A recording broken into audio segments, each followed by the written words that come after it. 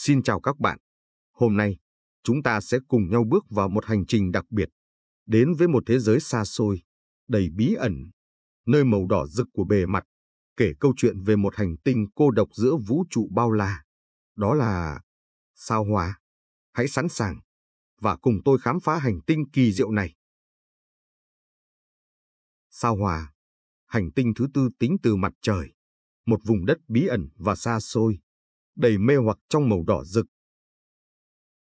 Được biết đến là hành tinh đỏ, sao hỏa được bao phủ bởi bụi sắt, làm cho nó tỏa sáng độc đáo trong vũ trụ.